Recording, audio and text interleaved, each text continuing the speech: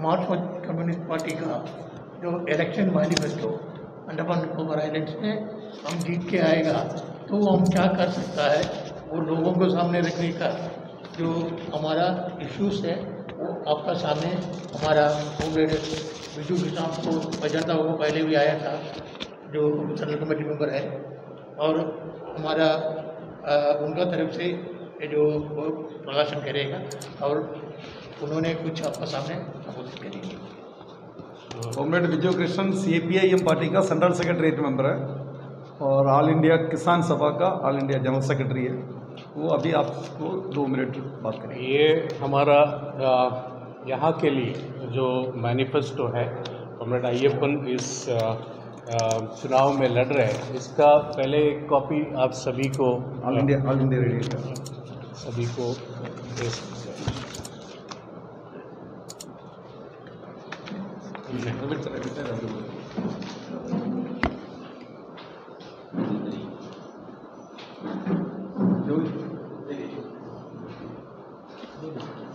ये जो आने वाला लोकसभा चुनाव है, हमारे देश के जनवाद और संविधान को बचाने का एक लड़ाई है और देश में जो कॉरपोरेट लूट मचा है, उसको रोकने का और आम जनता जो मेहनतकश किसान, उनके जो रोज़मर्रे के मुद्दे हैं, उसको लेके जैसे महँगाई हो जो रोज़गार का दिक्कत है हमारे युवाओं के लिए, ये सभी मुद्दों को लेके हम लोग इस चुनाव में और इस देश में जो सांप्रदायिक ताकतें एक ध्रुवीकरण करने का कोशिश है, उसके खिलाफ एकजुटता के साथ लड़ने का हम लोग इस मुहिम में हम लोग सभी आए हैं इस चुनाव में साथियों, ये आप सभी जानते हैं, अभी 10 साल से नरेंद्र मोदी और भाजपा का सरकार इस देश में है 2014 में काफ़ी लुभावने वादे देते हुए चुनाव जीत के आने वाले। इस सरकार सबका साथ विकास सबका विकास, सभी भारतीय नागरिक के खातों में पंद्रह लाख रुपया ले आने का बात था। युवाओं के लिए हर साल दो करोड़ रोज़गार मतलब दस साल में बीस करोड़ रोज़गार का अवसर। बहुत हो गया महँगाई की मार। अब की बार मोदी सरकार ये था नारा और पेट्रोल, डीजल, ये सब का दाम कम करने का बात भी था। आज आप सभी जानते हैं, आज का खबर है पेट्रोल जो है सौ से ऊपर है और डीजल भी सौ पार किया था, और ये जो एलपीजी सिलेंडर है, उसका तो 1100 1200 उस तरीके से हो रहा है। तो ये महँगाई जो है, उसको रोकने में ये पूरा विफल हुए हैं। किसानों को काफ़ी वादे ये किए थे, किसान का आमदनी दुगना करेंगे, किसान आत्महत्या बंद होंगे, स्वामीनाथन कमीशन सिफारिश को लागू करेंगे। इस तरीके से कुछ वादे जो है, आज तक एक भी लागू नहीं हुआ है। तो मोदी सरकार की गारंटी, आप देखे होंगे बड़े बड़े होर्डिंग अंडमान में भी ज़रूर लगा होगा। ये मोदी सरकार की गारंटी जो है, धोखा, एक भी गारंटी किसान और आम जनता को जो दिया, वो लागू नहीं हुआ। किसान का आमदनी अगर दुगना होता, कम से कम दो लाख इकहत्तर हज़ार रुपया होना चाहिए, सरकारी आंकड़े कहते हैं। पर आज के दिन एक लाख बाईस हज़ार के आसपास ही है। किसान आत्महत्या, किसान और दिहाड़ी मजदूर, खेत मजदूर, पिछले दस साल में चार लाख पच्चीस हज़ार से ज़्यादा। बेरोजगार शिक्षित, बेरोजगार युवा पचास हज़ार से ज़्यादा खुदकुशी किए हैं नरेंद्र मोदी के इन दस सालों में। ये हमारा देश का स्थिति है।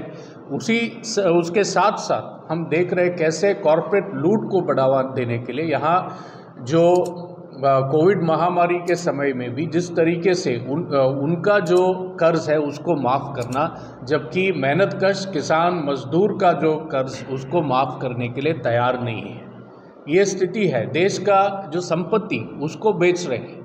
सभी जो सार्वजनिक क्षेत्र में जो अ, मुनाफा कमाने वाले कंपनियाँ हैं एक के बाद एक उसको बेच रहे मोनेटाइजेशन पाइपलाइन के नाम नाम पर।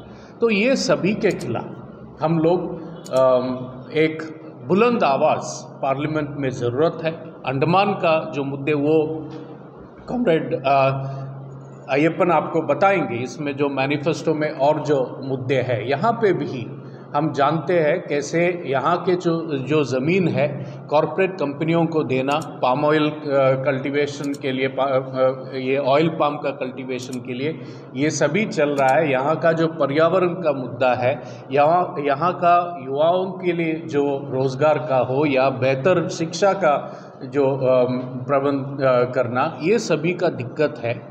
इन सभी मुद्दों को लेके, यहाँ खास करके जो बहुत बड़े पैमाने में सरकारी क्षेत्र में काम करने वाले लोग हैं, जो गवर्नमेंट ऑफिशियल्स हो या टीचर्स वगैरह है उनको बहुत बड़े पैमाने में कॉन्ट्रैक्ट सिस्टम भी ये सभी जो मुद्दा है, इसको हम उठाएँगे इस चुनाव में। और पिछले पाँच साल जो यहाँ से एमपी बन के गए अंडमान से जो चुन के गए, वो पार्लियामेंट में चुप रहे या जो केंद्र सरकार है, उस, उनके साथ एक पैसिव साइलेंस रखते हुए उनको ही बढ़ावा देने जैसे यहाँ पे भी काम, उनका और भाजपा में बहुत ज़्यादा फ़र्क यहाँ पे नहीं देखा गया, जैसे वो सीए का मुद्दा है, उसके खिलाफ बोलने के लिए तैयार नहीं है। अन्य जो सांप्रदायिक ध्रुवीकरण और दंगे होते हैं, उसके खिलाफ भी एक स्पष्ट रूप से बोलने के लिए तैयार नहीं रहा। ये सभी को लेके कॉमरेड अय्यप्पन और डिटेल से बता देंगे अब हाँ ठीक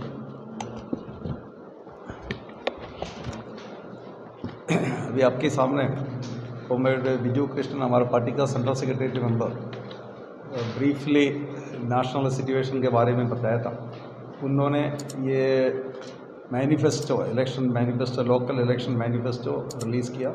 और इसके अलावा जो है हमारा पार्टी का नेशनल लेवल का एक मैनिफेस्टो है, वो भी आपको दे देंगे, एक दो दिन के अंदर में वो भी रिलीज़ हो जाएगा। तो ये मैनिफेस्टो बोलने से, ये नरेंद्र मोदी का मैनिफेस्टो नहीं है। नरेंद्र मोदी का मैनिफेस्टो के बारे में अभी कॉमरेड ने बताया आपको क्या क्या है करके। लेकिन हम लोग, ऐसा तो नहीं है। इसमें तैंतीस थर्टी थ्री इश्यूज़ का बारे में हम लोगों ने ज़िक्र किया। अगर अंडमान निकोबार से C P I M party अगर जीतेंगे, तब हम ट्राई करेंगे ये थर्टी थ्री पॉइंट्स इम्प्लीमेंट करने के लिए अंडमान निकोबार का लोगों के लिए। तो उसमें सबसे पहले है promoting protecting and preserving of the islands unique ethos and social fabric unity and amity in diversity ये तो अंडमान एक मिनी इंडिया है। ये मिनी इंडिया का तरह जो रखने के लिए हम लोग कोशिश करेंगे। क्योंकि इसको तोड़ने के लिए बहुत कोशिश चल रहा है, खास करके संघ परिवार का ओर से। पिछले कई सालों से जो है, जो भाईचारा हमारा देश में, हमारा अंडमान निकोबार में है, वो तोड़ने के लिए कोशिश कर रहा है। जब तक सी पी आई एम इधर में रहेंगे सी पी एम ये अलाउ नहीं करेगा सी पी एम उसका विरोध करते रहेगा। और दूसरा जो है, हमारा मांग है लेजिस्लेटिव असेंबली, पौंडीचेरी मॉडल का लेजिस्लेटिव असेंबली का गठन होना चाहिए अंडमान निकोबार में। और निकोबार डिस्ट्रिक्ट के लिए separate Lok Sabha seat Nicobari tribals के लिए रिज़र्व करने के लिए ये हमारा डिमांड है। और इन्फ्लक्स ऑफ़ पॉपुलेशन लोग जो अभी अनर अकाउंट अनचेक्ड पॉपुलेशन जो है, इधर में आ रहे हैं। ये कौन लेके आ रहे हैं ये लोगों? को वो कैसा आ रहा है इधर में? कौन इसका रिस्पॉन्सिबल है? इसका बारे में भी जो है जाँच होना चाहिए।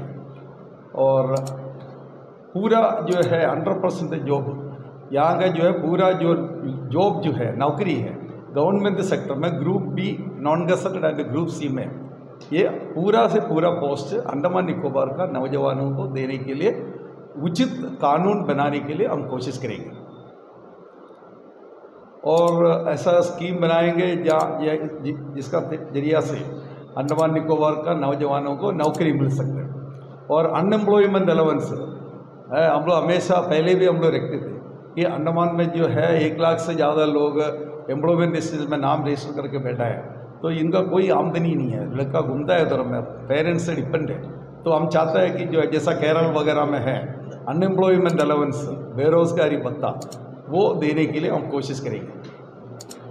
और पब्लिक डिस्ट्रीब्यूशन सिस्टम ज़्यादा से, और ज़्यादा से ज़्यादा सामान सिविल सप्लाईज का पब्लिक पीडीएस का थ्रू से जो है, देने के लिए हम लोग कोशिश करेगा। क्योंकि नरेंद्र मोदी आने के बाद में जो है ये चीनी वगैरह बंद हो गया। सबको चीनी मिलता था अंडमान में, वो सब बंद हो गया। ज़्यादा से ज़्यादा आइटम्स इसका थ्रू से देने के लिए हम लोग कोशिश करें।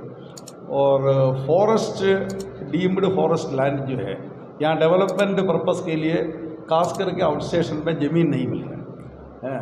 ये ये जो है देखते हुए हम लोगों ने अभी मांग रखा है कि हम कोशिश करेंगे ज़्यादा, और ज़्यादा जो है डीम्ड फॉरेस्ट लैंड डाइवर्ट करके डेवलपमेंट पर्पस के लिए यूज़ करना, ये हमारा मांग है। और old age pension, widow pension, disabled pension, ये सबका बढ़ोतरी होना, ये जो कितना बड़े बढ़ना है, ये हम लोग तय नहीं किया, लेकिन पहले से हम लोग मांग किया टेन थाउज़ेंड रुपीज़ अभी ढाई हज़ार रुपया दे रहे हैं टेन थाउज़ेंड रुपीज़ दे रहा है क्योंकि हमारा मांग था। वो अमाउंट अभी इसमें नहीं लिखा और revival of red oil pump plantation little Andaman और नरेंद्र मोदी जो दो करोड़ नौकरी का सब बात बोल रहे हैं। नरेंद्र मोदी आने के बाद में हज़ार लोग काम किया वाला फॉरेस्ट कॉरपोरेशन बंद कर दिया। इसके बारे में अंडमान निकोबार का बीजेपी का लोग ना यहाँ का अभी का एमपी कुछ नहीं कह रहे। तो उनका जो है फॉरेस्ट कॉरपोरेशन का तय लिटिल अंडमान में ये जो palm oil plantation red oil red oil palm plantation तो ये जो है, अभी हज़ार से ज़्यादा हेक्टर में ज़मीन फैला हुआ है मतलब प्लांटेशन फैला हुआ है। ये अभी देखभाल करने के लिए कोई नहीं है, ऐसे छोड़ के रखा है, जिसको भी अंदर जाके एंक्रोच कर सकता है। तो इसका जो है ठीक तरीका से रिवाइव करके प्लांटेशन दोबारा उधर में रिवाइव करेगा, कम से कम लिट्टा अंडमान का लोगों को जो है नौकरी मिलेगा, ये हमारा मांग है। Planning and implementation schemes to encourage farmers farmers को जो है और ज़्यादा सहूलियत देने के लिए जो उपाय जो है हम ढूंढेंगे। Procurement of dehusked directly from farmers जो फार्मर्स से जो है डायरेक्टली वो छिलका निकाला वाला जो कॉकरेट है क्योंकि अभी कोपरा का एमएसपी के बारे में बोल रहे हैं। यहाँ का कोपरा जो है महिला लेके नहीं जा रहे यहाँ बोल रहे हैं कि यहाँ का कोपरा महिला लेके जाएगा ट्रांसपोर्ट का टाइम है, उसका जो है ख़राब हो जाता। इसलिए कोपरा अभी नहीं ले रहे। एडवर्टाइजमेंट बहुत आ रहे हैं, बहुत न्यूज़ आ रहा है कि एम दे रहे हैं करके। यहाँ एम एस पी नहीं मिल रहे आप कैंपल पे जाइए लिटना में एम नहीं मिल रहा है। यहाँ का जो है किसानों को। इसलिए हम लोग बोल रहे हैं कि अगर उस तरह कोई सिचुएशन है तो जो चिल्का निकाला वाला जो है वोटा नारियल यहाँ से लेके जाने के लिए एमएसपी दे करके, ये भी हमारा मांग है। और अरेकनेट का ऊपर में सुपाड़ी का ऊपर में जो है जीएसटी लगा के रखा है, हमारा यहाँ का जो नॉर्थ मिडिल लिटिल अंडमान वगैरह का जो किसान लोगों को चार पैसा हर साल मिलते थे, वो सुपारी बिक्री करके, अभी नरेंद्र मोदी उसका ऊपर में भी पानी फेंक दिए। अभी जीएसटी लगा करके जो लोगों को परेशान कर रहा है, अगर सीपीएम अगर यहाँ से जीत के जाएँगे तो हम ये जी जीएसटी हटाने के लिए हम लोग कोशिश करेंगे। और फिशरीज बेस्ड इंडस्ट्रीज़ का। फिशरीज एंड टूरिज़्म दो ही सेक्टर था, इधर मैं पहले से हम लोग बोल रहे थे कि नौकरी क्रिएट करने के लिए जो है लाइक लेकिन जो है इधर में फिशरीज़ को एकदम नेगलेक्ट करके रखा। फिशरीज़ में बहुत पॉलिटिक्स है। कांग्रेस और बीजेपी जो है पूरा इंडियन फिशिंग सेक्टर जो है हाथ में रखा है और जितना भी पैसा फिशरमैन का वेलफेयर के लिए आता, वो कोऑपरेटिव का थ्रू का ज़रिया से कुछ लोग, चंद लोग जो है पॉकेट लीडर्स पॉकेट में डालता, आप लोग सुना होगा कुछ नेतागढ़ अभी जो है जेल में भी गया, कांग्रेस का कुछ नेता लोगों को जेल में डाला और बीजेपी का नेतागण बाहर में, जो कोऑपरेटिव सोसाइटी में, जो लूट, लूटमारी हुआ था, जो लूटा था। और उसका बाद में upgrading and and augmenting health care service Andaman Nicobar में हेल्थ केयर बहुत कस्ता हालत में है और इसको जो है सुधार करने के लिए पूरा अंडमान निकोबार आइलैंड्स में स्पेशलिस्ट का जो है पोस्ट है और वो फैसिलिटीज़ दिलाने के लिए हम लोग कोशिश करेंगे। और डिग्री कॉलेज जैसे डिग्रीपुर और कार निकोबार में डिग्री कॉलेज का खोलने के लिए हम कोशिश करेंगे। प्लानिंग एंड इम्प्लीमेंटेशन की सब ड्रिंकिंग वाटर का पीने का, पेयजल का जो है बहुत किल्लत है पूरा अंडमान निकोबार में।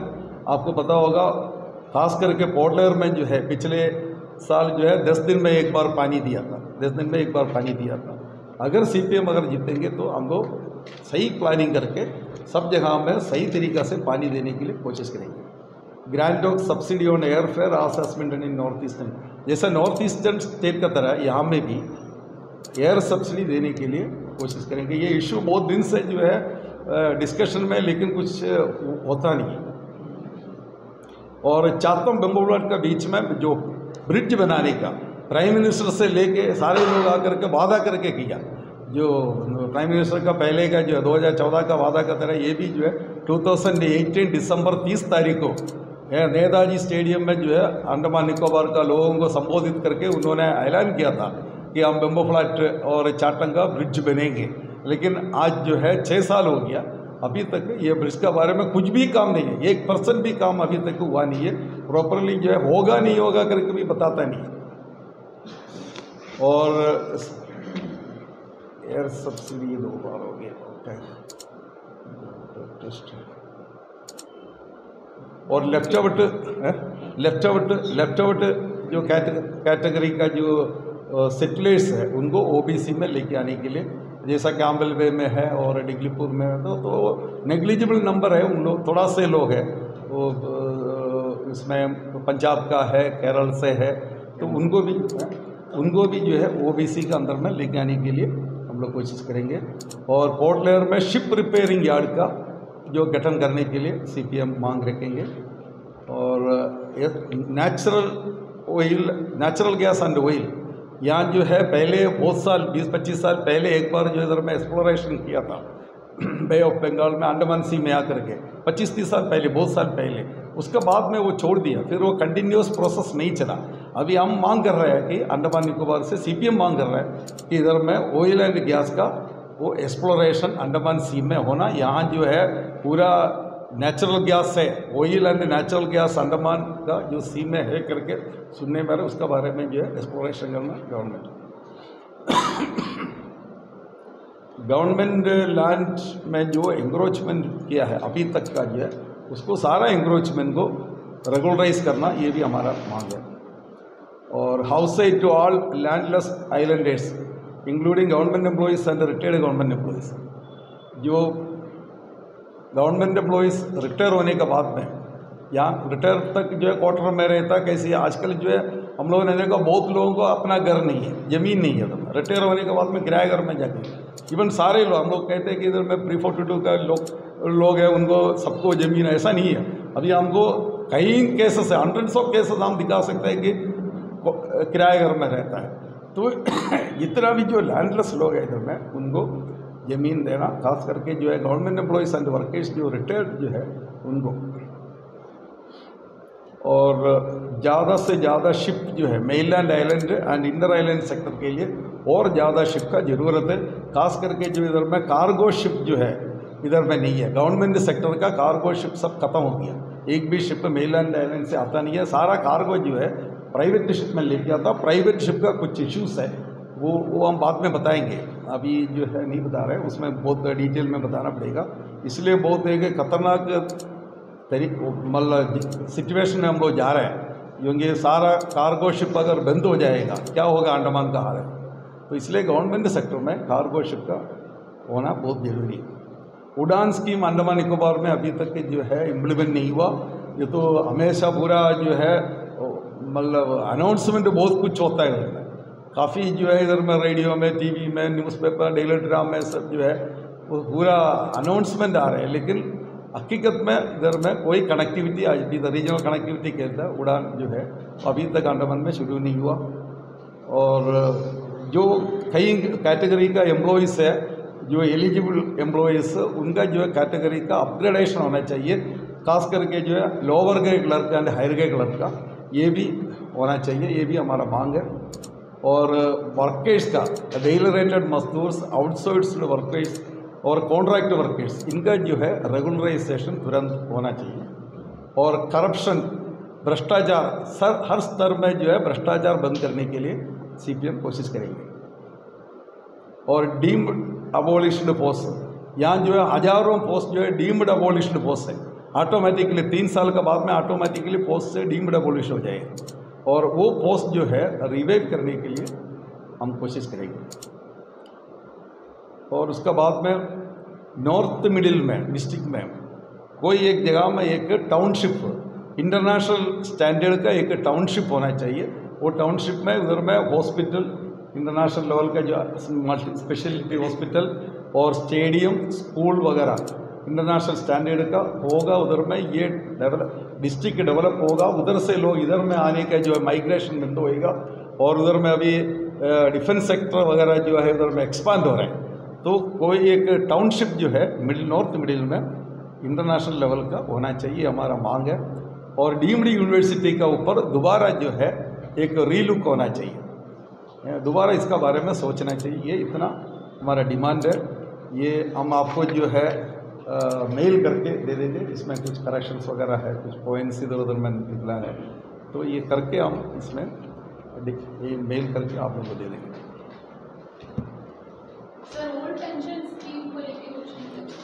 ओल्ड पेंशन स्कीम जो है हम लोग अंडमान में कुछ करने का नहीं है सेंट्रल गवर्नमेंट का एक पॉलिसी डिसीज़न है। और बीजेपी का बीजेपी वो डिमांड है सीपीआईएम का। कि वो- काफ़ी लोग अभी वही बात कर हाँ वो एक बड़ा मुद्दा है। पूरा गवर्नमेंट सर्वेंट्स का एक बहुत बड़ा अ, मुद्दा है। उसमें सीपीआईएम का सेंटर्स अ, से भी ये हम लोग का डिमांड है कि old pension scheme should be reinstated sir मेरा एक सवाल है सर। जैसा अभी आयुष्मान भारत जो स्कीम जो चल रहा है ना यहाँ पर तो आईएलएस को जो काफ़ी दिक्कतें हो रही है। इससे पहले जो अनिश्चित स्कीम थी ना उससे जो है लोगों को मतलब इतना नुकसान तो नहीं होता था लेकिन अभी जो स्कीम चल रही है उससे काफ़ी दिक्कतें हो रही है। ये तो आयुष्मान स्कीम एक खोखला है आपको सबको मालूम है। यहाँ से लोग रेफर करके मेलैंड जाता है परेशान होता है। वहाँ से टेलीफोन करता है इधर में सर हमारा ट्रीटमेंट नहीं हो रहा है। और सर उन्हें यहाँ से जो अस्पताल जो दिया जाता है ना मैं आपको बता दूँ वो जीवन हॉस्पिटल जो यहाँ का जो है इससे भी कई गैर गुजरा मतलब अच्छा हॉस्पिटल में ट्रीटमेंट नहीं मिलेगा क्योंकि अच्छा हॉस्पिटल का जो पहले ट्रीटमेंट किया वाला पैसा पेंडिंग है इधर में। अच्छा। आपको मेयोट हॉस्पिटल है। मेयोट हॉस्पिटल है और दूसरा अपोलो है कई हॉस्पिटल में करोड़ों रुपया पेंडिंग है इधर में। पैसा नहीं दे रहा है एडमिनिस्ट्रेशन पैसा देगा। उसके लिए कोई कोशिश नहीं कर रहा है। एमबी होने से भी पुराना एमबी होने से भी दूसरा दूसरे लोग सब जो है खड़ा होकर के माइक में आकर के बोल रहे हैं कि पता नहीं है स्कीम ठीक नहीं है ऐसा करके ये क्यों ठीक नहीं है उसका बारे में लोगों को नहीं बता रहे नहीं हम लोग इस बार आप देखे होंगे कि कुछ साल के गैप के बाद फिर से सीपीआईएम उम्मीदवार दिए हैं। ये इसलिए है क्योंकि अंडमान निकोबार आइलैंड्स का जो अहम मुद्दे हैं उसको पार्लियामेंट में अम, वो रेज भी नहीं किया जा जाता है। तो इसीलिए एक मज़बूत आवाज़। आप सभी जानते हैं कॉमरेड अय्यप्पन खुद यहाँ के गवर्नमेंट सर्वेंट रहे हैं। उसके बाद अम, अ, पूरा यहाँ के लोगों का जो मुद्दों पर ज्वलंत मुद्दों पर संघर्ष करने वाला एक साथी है। तो ऐसा कोई वहाँ जीत के जाने का ज़रूरत है। इसीलिए हम ये निर्णय भी लिए कि कॉमरेड अय्यप्पन को इस बार यहाँ से उम्मीदवार बनाने का। तो ऐसे मुद्दे हैं आयुष्मान भारत का आप अभी बता रहे मैं खुद यहाँ पे पूरा काफ़ी आइलैंड्स में गया हूँ। रोड का कंडीशन जो है, ये एक बहुत बड़ा मुद्दा है। रोड इतना ख़राब हालत है और जबकि सेंट्रल गवर्नमेंट के अंडर डायरेक्टली आता है। तो ये सब भी मुद्दे हैं यहाँ का रेशन व्यवस्था का बात हुआ हाउसिंग का है होमलेस के लिए हाउसिंग सर और एक बात मैं आपको बताना चाहता हूँ prime minister P M M S Y sorry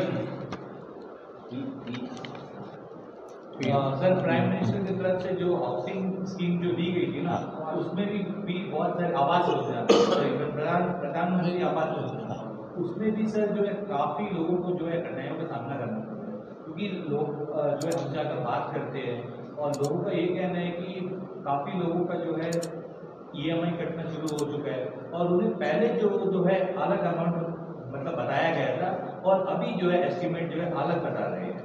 नहीं अब देखिए, केरल में वाम जनवादी मोर्चे का सरकार है।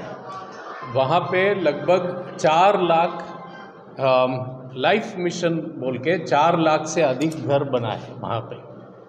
और वो घर ऐसे है पक्का घर है हम भी खुशी से उसमें रह सकते ऐस, ऐसा नहीं कि जो इंदिरा आवास के नाम से पहले होता था या फिर अभी प्रधानमंत्री आवास योजना में जो हो रहा है उसका क्वालिटी लेके ही एक प्रश्न चिन्ह है। तो क्योंकि केरल में जो एक घर के लिए अगर छः सात लाख खर्च हो रहा है उसका सिर्फ़ 12 प्रतिशत के आसपास केंद्र से आता है।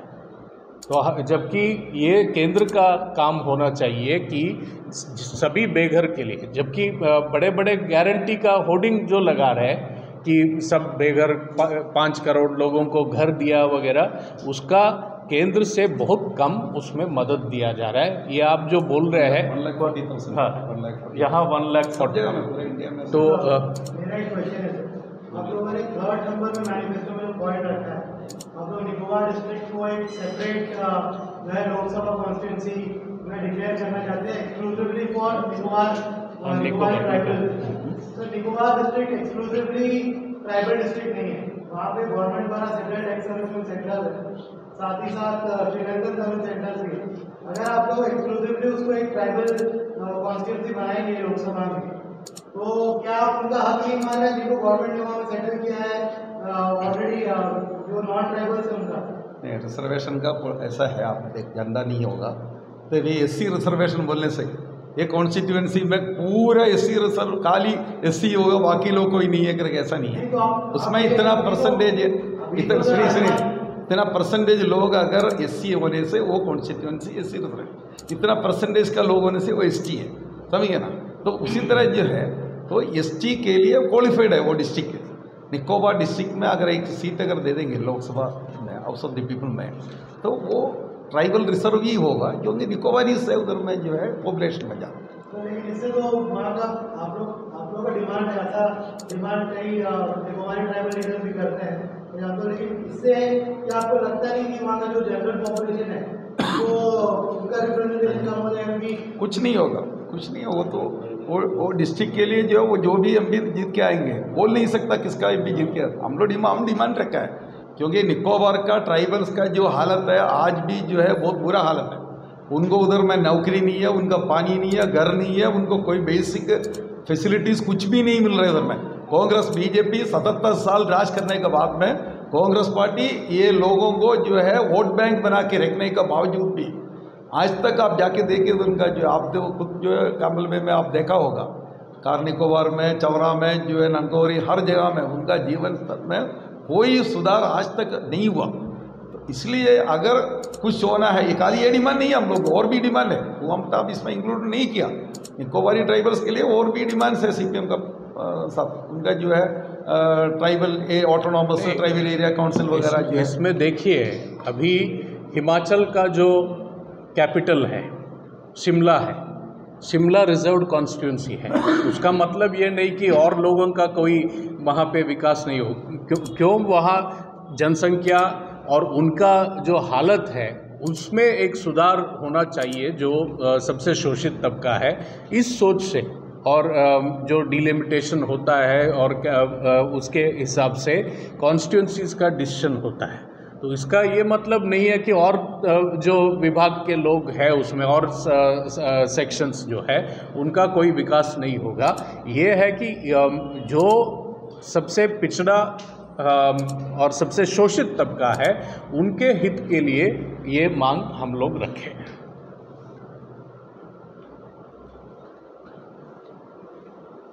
जो एक स्पेशल डिमांड आपके सामने रखा है जो नॉर्थ मिडिल में एक सिटी इंटरनेशनल स्टैंडर्ड का एक सिटी डेवलप करना आपको मालूम है, आज जो सेटलर आप सेटल किया है, वो सारे लोग जो है शिफ्ट करता है पोर्टलर के लिए।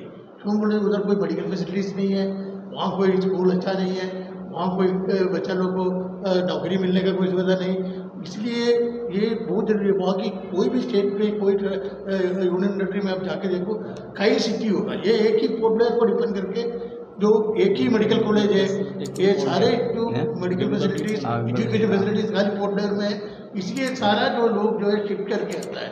इसलिए ये एक डिमांड हम लोग हाईलाइट करना चाहिए। जो मिडिल नॉर्थ में अगर ऐसा एक इंटरनेशनल स्टैंडर्ड में अगर एयरपोर्ट अगर जो कॉलेज स्कूल और मेडिकल जो जो मेडिकल कॉलेज अगर आने से कम से कम जो लोग शिफ्ट करना बंद हो जाएगा। और टूरिज़्म इतना डेवलप हो जाएगा, बहुत आदमी को, वो एरिया के आदमी को नौकरी मिल जाएगा। टूरिज़्म को बहुत इम्प्रूवमेंट हो जाएगा वो एरिया में। यहाँ से उधर जाना बड़ा मुश्किल है रोड का हालत अब देखता है। अगर एयर फैसिलिटीज़ होएगा अच्छा वाला एक एयरपोर्ट होएगा, जो लोगों को टूरिज़्म से वो एरिया का, जो लोगों को नौकरी मिलने का भी सुविधा होएगा। ठीक है।